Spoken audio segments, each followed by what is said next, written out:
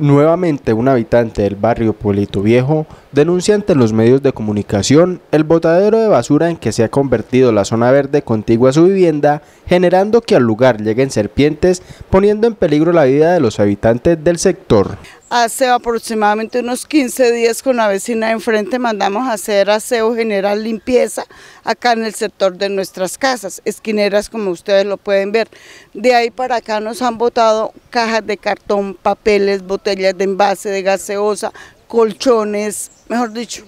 nos tienen aquí, es un botadero de basura terrible que ya no damos. Se han presentado problemas de casos de culebras, como les presenté comenté la vez pasada, pero aquí nadie hace nada, nadie dice nada. Vuelvo y repito, con la vecina de enfrente es que mantenemos limpio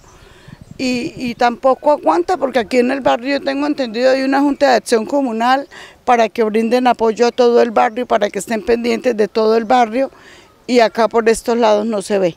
Esa es mi inquietud ahorita porque ya estoy cansada de estar limpiando, de estarles recogiendo desde creces a los perros, a todo